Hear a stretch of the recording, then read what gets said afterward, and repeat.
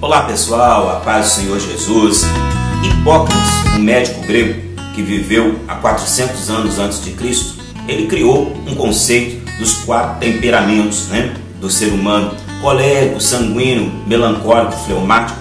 Depois, muitos filósofos, psicólogos vieram desenvolvendo essa ideia e eu também, juntamente com outros pastores, estamos estudando bastante esse assunto. Eu quero conversar com você hoje sobre os quatro temperamentos do ser humano, uma visão bíblica a respeito do assunto. Está entrando no ar o nosso programa Psicologia Cristã.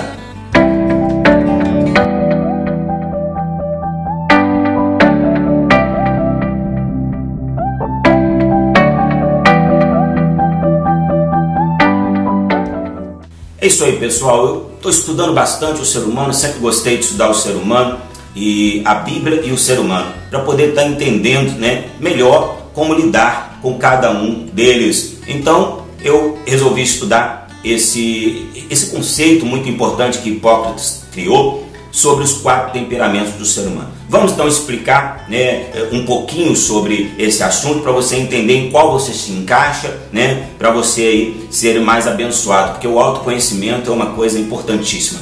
Tem muita gente que não se conhece, por isso que entra em furada, né? Por isso que se casa errado, entra no emprego que não é para ele, porque ele não se conhece. Nós temos que nos conhecer. Eu sempre falo para as nossas ovelhas, nossos membros, que nós devemos conhecer três pessoas: Deus, o diabo e nós mesmos. Nós temos que conhecer Deus, temos que conhecer o diabo, porque senão ele arrebenta a vida da gente, né? Ele não pode ficar oculto. E nós temos que nos conhecer. É um pouco de autoconhecimento que eu quero trazer para você hoje. Então vamos lá, tem um temperamento né, sanguíneo. Vamos criar o temperamento sanguíneo. Vamos às características do temperamento sanguíneo a princípio. O sanguíneo, por exemplo, ele é alegre, né? Já viu que as pessoas que chegam chegando, né? E começa a brincar, e começa a sorrir, alegra a festa, alegra o churrasco, alegra o culto. São pessoas alegres, alegres, são pessoas otimistas, né? Geralmente quando acontece um problema, ela levanta a cabeça, não, não, vai dar certo Vamos tentar de novo que vai dar certo. São pessoas otimistas, né? Mas são pessoas também temperamentais, né? Quando tá nervoso, tá nervoso, fala um monte de coisa, mas não guardam mágoas. Elas vão lá e pedem perdão sem problema nenhum. Não são de corações duros, não. Então o, o sanguíneo ele é assim, ele é falante, né? Ele fala demais, ele não deixa ninguém falar. Quando a mulher sanguínea casa com um homem fleumático, homem não fala, né? Só a mulher fala, fala a madrugada toda se deixar. Essa mulher sanguínea, o homem também fala muito, mas a mulher, nós sabemos, fala mais um pouquinho, né? Um pouquinho é o eufemismo, né? Então a mulher fala bastante porque ela é sanguínea, ela é impulsiva também, né? Ela não pensa muito para falar. Ou ele também, o, o sanguíneo, não pensa para falar. Quando vê, já falou. Sabe o que o sanguíneo pensa? É o seguinte: ele fala depois pensa. O que está errado, mas é uma característica do, do, do sanguíneo. Ele é muito impulsivo, né? Ele é bondoso, né? As pessoas sanguíneas realmente são bondosas. Elas tiram a roupa do corpo para poder abençoar as pessoas se necessário for. São pessoas que normalmente, quando estão na igreja, levam cesta básica para a igreja, se preocupam com o próximo, né? abraçam a causa. Então, os sanguíneos são muito importantes em todos os setores da nossa sociedade. Também são indisciplinados, né? difícil você marcar com ele 3 horas e chegar 3 horas. Ele vai chegar 3 e 15, 3 e 20, 4 horas e vai dar um monte de desculpa. O sanguíneo sempre é assim. E também eles cedem muito às tentações. O sanguíneo gosta demais do mundo. O sanguíneo acha pessoas, festas super interessantes. Então ele acaba cedendo às tentações. Então, se ele é um cristão, ele tem que orar bastante, jejuar para poder vencer essas tentações aí. A gente vê na Bíblia, vou trazer sempre um exemplo bíblico, porque o nosso programa é sempre numa visão bíblica. É um programa é, espiritual também, além de ser psicológico. Então, um, um sanguíneo muito conhecido na Bíblia é o apóstolo Pedro, né? Você lembra quando Jesus falou que ele ia para a cruz? Aí o Pedro falou assim: de maneira nenhuma só vai para a cruz. Aí ele falou assim: ele falou assim, eu vou contigo até a morte também. Aí Jesus falou assim: antes que o galo cante, você vai me negar três vezes. Ao Pedro: eu? Eu vou negar o Senhor não? De jeito nenhum. O sanguíneo é assim. Ele nem se conhece, então ele fala que não vai negar. Quando é lá na frente ele nega, entendeu? Igual o Pedro querendo andar sobre as águas. O sanguíneo é assim. Ele quer tudo primeiro. Tudo ele tem que chegar primeiro, tudo ele tem que chegar chegando, como eu disse. mas daqui a pouco acaba dando tudo errado, né? Mas ele levanta a cabeça e prossegue, né? Como Pedro assim fez. Então o apóstolo Pedro é o sanguíneo mais conhecido nas escrituras. Deu para entender o sanguíneo? Agora vamos para o colérico. O colérico, né? O colérico são pessoas nervosas, são pessoas agitadas. Geralmente são pessoas que falam rápido, né? São pessoas que falam rápido, firme, olham no seu olho e o jeito delas falarem já parece estar brigando com você. Mas não está, mas é o jeito dela falar. Então, geralmente são pessoas nervosas, agitadas, são pessoas que dificilmente perdoam. Quando ficam magoadas, ficam mesmo, a não ser que o Espírito Santo esteja nela e ela seja uma pessoa quebrantada. O que eu estou ensinando aqui são as características do ser humano quando ele não é quebrantado por Deus. Quando ele é quebrantado por Deus, claro que as coisas vão mudando, né? E aí ele consegue perdoar mais, consegue ficar menos nervoso. Claro, estou falando aqui quando o Espírito Santo não está atuando na vida da pessoa. Então ela é uma pessoa nervosa, é uma pessoa ativa demais. O colérico, se bobear, ele acorda 6, 7 horas, fica trabalhando, trabalhando até meia-noite, parece que ele não cansa. Colérico, um, pessoa colérica preguiçosa não existe. O colérico é sempre animado, sempre ativo, está envolvido em três, quatro, cinco tarefas ao mesmo tempo. A mulher colérica, ela vai à casa, ela cozinha, ela conversa com o marido, ela faz um monte de coisa ao mesmo tempo, faz a obra de Deus, volta, está tudo limpinho. São meio nervosas, são meio agitadas, mas são muito ativas. Então, os coléricos são assim. Extrovertidos, né? Eles não têm, é, por exemplo, ah, o colérico é tímido. O colérico não é tímido. O colérico chega em qualquer lugar, olha no olho de todo mundo, não tem medo de falar com as pessoas. Então esses dois que a gente está estudando, sanguíneo e colérico, são pessoas consideradas um temperamento para cima. E os outros que a gente vai estudar daqui a pouco, o melancólico e o fleumático, são considerados pessoas de temperamento para baixo. Então, são insensíveis, né? Outra característica né, dele é pessoas, por exemplo, ah, o fulano, é, você diz assim o colérico, o fulano ali, ele está passando mal. Aí o colérico fala assim, ah, está passando mal porque ele faz isso, faz aquilo. Quem manda ele agir assim? Eles parecem agir sem sensibilidade, tem hora. Parece que eles não têm amor. Eles até têm, mas parece que eles não demonstram. Eles ficam sérios e parece não esquentar a cabeça, viram as costas perante um momento difícil das pessoas. Isso é um defeito aí grave do colérico que ele tem que pedir para Deus corrigi-lo. Então, mas são pessoas também autodisciplinadas, né? São pessoas que falam assim, eu vou acordar de manhã, vou fazer isso, à tarde eu vou fazer isso, à noite eu vou fazer isso. E fazem mesmo. O colérico é super organizado. O sanguíneo não consegue fazer. Mas o colérico, ele é super organizado, autodisciplinado, autodidata. Eles podem muitas vezes, muito, muito bem estudar em faculdade à distância, tranquilo. Ele chega em casa, eu tenho que estudar. Ele estuda mesmo. Não tem nada que tire a distração deles. São pessoas focadas. Isso é o bom do colérico aí. São pessoas orgulhosas também. Pede pro, pro colérico pedir perdão para alguém. não pede. Não pede mesmo. Só se estiver muito cheio do Espírito Santo. Ele sempre acha que está certo, entendeu? O colérico é assim. Ah, eu, tô, eu tenho as minhas razões, ele pensa.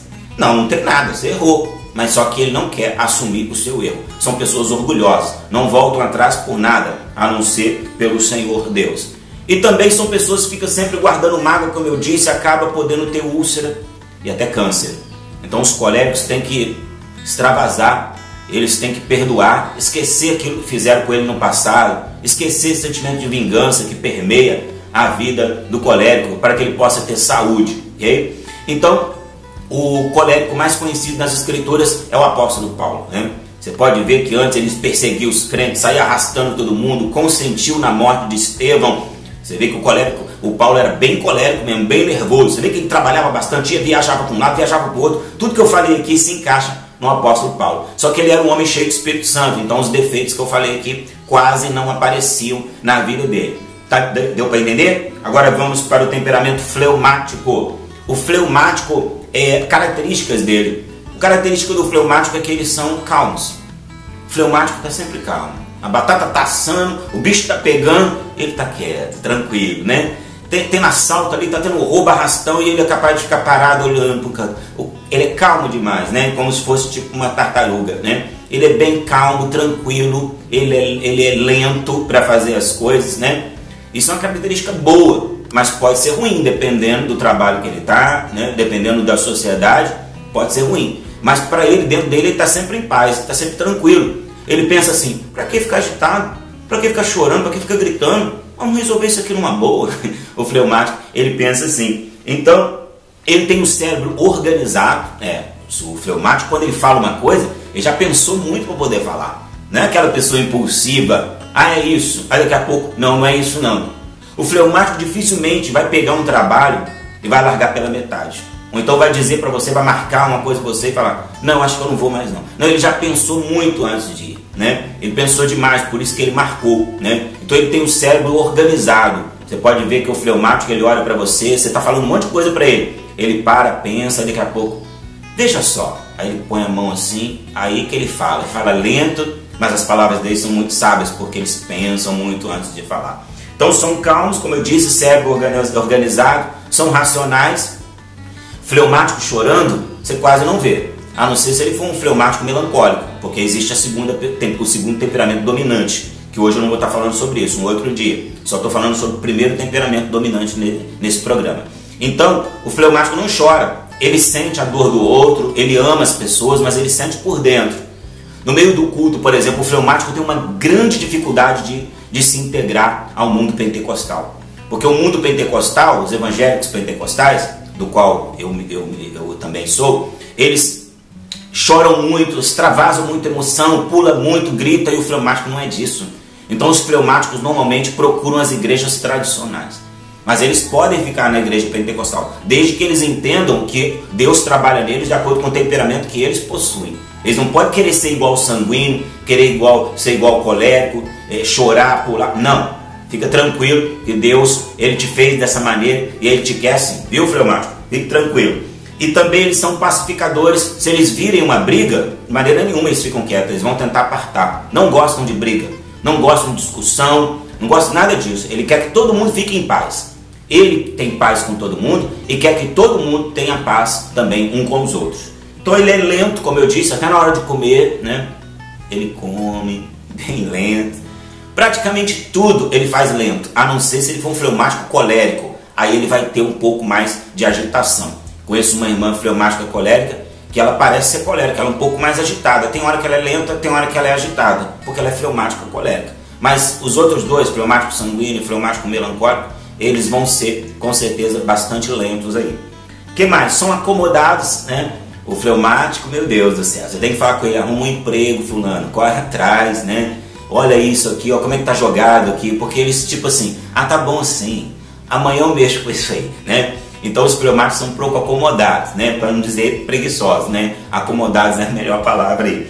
E são teimosos, né? Quando cismam uma coisa, a pessoa vai lá e fala, fala, fala, fala. Eu conheço fleumático, que a esposa é sanguínea. Quase todo fleumático é a esposa sanguínea, né? Porque a esposa procura alguém para manipular e o fleumático se deixa ser manipulado. Mas ali a mulher vai falando, falando, falando, falando, falando, falando, e ele balança a cabeça, mas ele não vai fazer nada daquilo, não.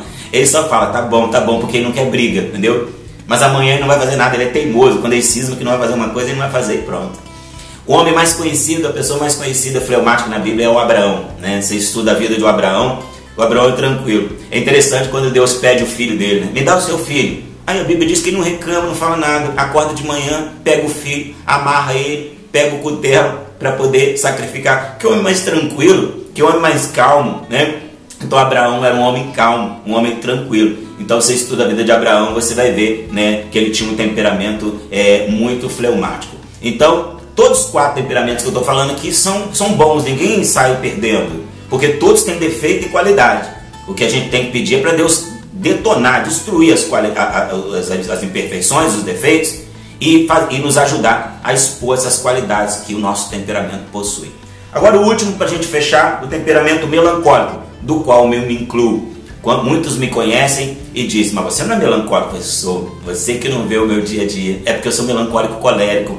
Então, meu segundo temperamento, na hora de dar estudo, de pregar, às vezes flui mais. Mas quando eu acabo aqui o, o programa, eu sou melancólico, aí Deus tem que me ajudar a não entrar em depressão, não ficar triste. Vamos lá, algumas características do melancólico para você entender o que eu estou falando. São pessoas abnegadas. O que é uma pessoa abnegada? É uma pessoa que vive a vida do outro, né? Uma pessoa que quer o bem do outro. Ele prefere que os outros fiquem bem do que ele. Se ele tem um dinheiro, ele dá. Se ele tem uma roupa, ele divide, entendeu? Ele empresta, né? Ele é sempre uma pessoa que quer o bem. Pastores melancólicos são muito bons por quê? Porque eles vivem a vida da ovelha, ajudam demais, né? São pessoas que se preocupam demais com o bem-estar alheio. Então, característica do melancólico, eles são abnegados. Outra característica, são perfeccionistas. Você dá uma coisa na mão deles, eles vão fazer certinho vão te entregar. Vão chegar no horário, são certinho com os compromissos. Por que eles são assim? Porque eles não gostam de crítica. Eles são muito frágeis com críticas. Eles têm a tendência a entrar em depressão, a se entristecer com facilidade. Então ele não deixa o nome dele na reta, entendeu? Então ele quer fazer tudo certinho. Para ninguém ficar cobrando dele, ele não gosta de cobrança. Porque ele tem, não é porque ele é orgulhoso, é porque ele tem fraqueza, ele é muito limitado no seu psique. Então ele não suporta aquela, a, aquele contra-ataque, aquela pressão, ele não suporta. Então ele é perfeccionista por causa disso. O que mais? São amigos fiéis. Contam um, um segredo para o melancólico, ele vai guardar. A não ser se for melancólico sanguíneo, que sanguíneo não é muito guardar segredo, não. Caso contrário, ele, como melancólico, vai guardar o segredo, vai te ajudar, vai querer o seu bem. Então, os melancólicos são muito bons para ser amigos. Também são maridos, esposos fiéis, muito difícil trair. Melancólico trair porque já está nas últimas mesmo, porque entrou um demônio ali. Mas dificilmente eles conseguem trair porque não é deles, não está na índole deles. São criativos, né? A maioria dos, dos melancólicos, né, são artistas, né? Você vê, por exemplo, um dos melancólicos mais conhecidos que já faleceu, é o Michael Jackson. Você pode ver no semblante dele enquanto ele estava vivo, um semblante meio caído, meio desanimado, mas olha que criatividade tinha esse homem, né? Então você vê também muitos homens na Bíblia, daqui a pouco, daqui a pouco eu estou falando, que são criativos. Então o melancólico ele entra muito no mundo da fantasia, né? Ele não vive muito o mundo da, da, realidade, ele vive no mundo da fantasia. Então ali ele cria um monte de coisas, são capazes de escrever livros fantásticos, criar canções maravilhosas, né? Criar ritmos de dança. São pessoas fabulosas, mas tem esse defeito aí de ser depressivo, triste, cabisbaixo, desconfiado, né? O melancólico você fala assim, vai dar certo. O melancólico fala assim, ah, não vai cara. Essas coisas não vão dar certo, não. É melhor desistir disso aí. Eles estão sempre pensando para baixo e só Deus para colocá-los para cima. São pessoas negativas e pessoas cabisbaixas, pessimistas e desconfiadas. Ah, essa pessoa não deve gostar de mim, não. Se aproximou de mim, deve estar tá querendo alguma coisa, porque ninguém gosta de mim. Eles acham que ninguém gosta deles. O que não é verdade. É cisma deles, né? Então vamos aos melancólicos mais conhecidos na Bíblia. Nós temos o exemplo do profeta Elias, que escondeu na caverna porque Jezabel queria matá-lo. Seu com temperamento melancólico. Como assim esconder na caverna? Sai daí e continua fazendo a obra. Não quis. Você lembra do profeta Jonas também? E Deus fez aquela buboreira e ele ficou, né? O sol não bateu na, na cabeça dele, ele ficou de boa. Aí daqui a pouco a buboreira foi tirada, ele começou a sentir angústia e pediu a morte. Como assim pedir a morte? É um temperamento melancólico. Nós vemos Jeremias também, Moisés também era assim. Ah, Senhor, por que o Senhor trouxe a gente aqui? Se o Senhor quer matar esse povo, me mata. Então, risco meu nome no livro da vida, aquela coisa do temperamento melancólico. Melancólico faz uma tempestade no copo d'água, que é uma coisa absurda. Então, esses aqui foram os quatro temperamentos. Se você quiser fazer um teste de qual é o seu temperamento, tem o site aqui da Igreja Boas Novas. Não é a minha igreja, é um site que eu vi na igreja, na, na internet, que eu acho o melhor site para poder você fazer um teste. Aí você vai ver a sua porcentagem, né? Você vai ver a porcentagem, por, exemplo, o meu dá 40 e poucos por cento de melancolia, depois dá 20 e poucos por cento de colérico, depois dá 20 por cento de sanguíneo, depois dá 10 ou não sei quanto de fleumático. Aí você vai se estudar, porque na, todo mundo tem um pouco disso aqui, todo mundo tem, mas tem alguns que predominam mais. E você vai lá e vai estudar. E você pode entrar em contato conosco no Facebook conversar com a gente sobre isso. Eu te ajudo a entender o seu temperamento. Você vai lá em facebook.com, Pastor Evani Vieira, e eu estou lá à sua disposição. Tudo bem? Então, se você gostou do nosso programa, você pode também estudar conosco na nossa escola de cursos. Eu tenho muitos cursos na internet. Você pode adquirir cada um deles no nosso site www.ibapev.com. Ali você vai ter a sua vida edificada. Que Deus abençoe você te ajude a controlar o seu temperamento e ser um sucesso para a glória de Deus. Deus abençoe. Até a próxima.